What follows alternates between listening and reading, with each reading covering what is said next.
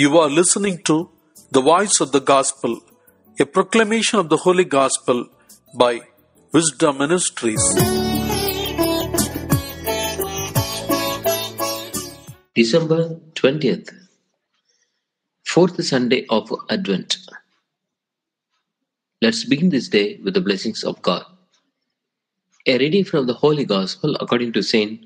Luke chapter 1, verses 26 to 38.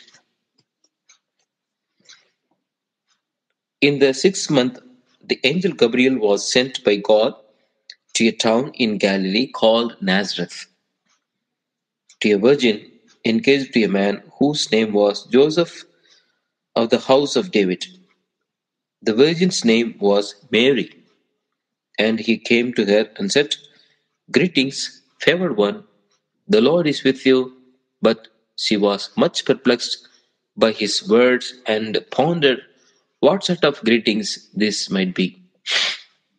The angel said to her, Do not be afraid, Mary, for you have found favor with God. And now you will conceive in your womb and bear a son, and you will name him Jesus. He will be great and will be called the Son of the Most High, and the Lord God will give to him the throne of his ancestor David. He will reign over the house of Jacob forever, and of his kingdom there will be no end. Mary said to the angels, How can this be, since I am a virgin? The angel said to her, The Holy Spirit will come upon you, and the power of the Most High will overshadow you. Therefore, the child to be born will be holy. He will be called the Son of God. And now, your relative Elizabeth, in her old age, has also conceived a son, and this is the sixth month for her who was said to be barren. For nothing will be impossible with God. Then Mary said, Here am I, the servant of the Lord. Let it be with me according to your word. Then the angel departed from her. The Gospel of the Lord. Praise you, Lord Jesus Christ. Dear friends, we come to the last Sunday before Christmas, and the Mass reading speak about the preparation that God made for Jesus to be born among us and as one of us. Hail, full of grace, the Lord is with you. How did Mary react to such an extraordinary salutation? The Gospel says that uh, she was greatly troubled, and uh, well she might be. As a young and uh, probably illiterate girl in an obscure little town, what could the words possibly mean? Full of grace really means that she is uh, being showered with God's special favors. It is more something that is happening to her than something she already has. The nature of that favor is favor in what follows. She is to be to become the mother of a son, whom she will call Jesus, and who will be a king of whose kingdom there will be no end. What an extraordinary thing to be told. What really disturbs Mary is that although she is already betrothed to Joseph, she is not yet fully married to him.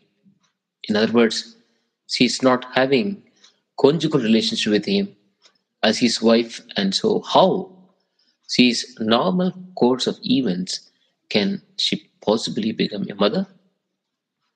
It will happen because the conception will be the work of God, the overshadowing of the Spirit, so that the child who is born will be, in a very special sense, the Son of God. Yeah. The first reading from the second book of Samuel speaks of God asking God David to make him a dwelling place worthy of him. David, the king, was concerned that he lived in a palace of fine cedar wood, while God only had a tent, the tent where the Ark of the Covenant was kept. Eventually, a magnificent temple would be holy, but by God, David, but by his son Solomon. It would be rebuilt even more magnificently by Herod the Great. And in fact, the construction of a the construction was not yet finished in the lifetime of Jesus. However, the house that David was being asked to build was a different kind of a house.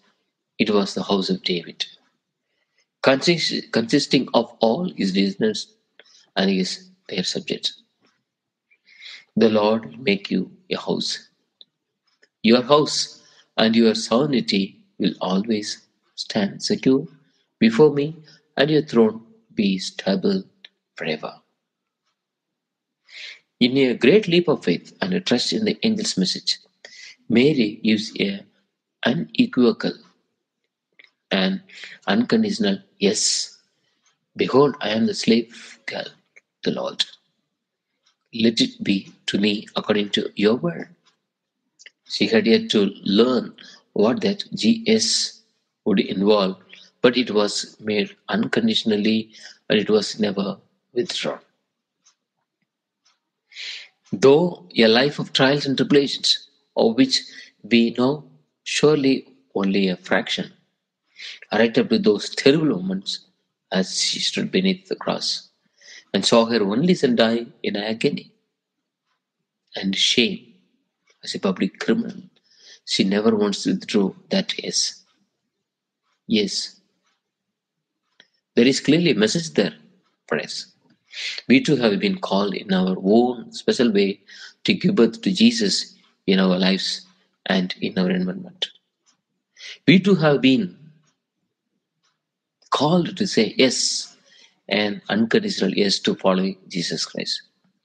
Yes. Now, as we approach the celebration of Christ Christmas, it's the time for us to renew that pledge with Mary's help and example. Amen. May God bless us.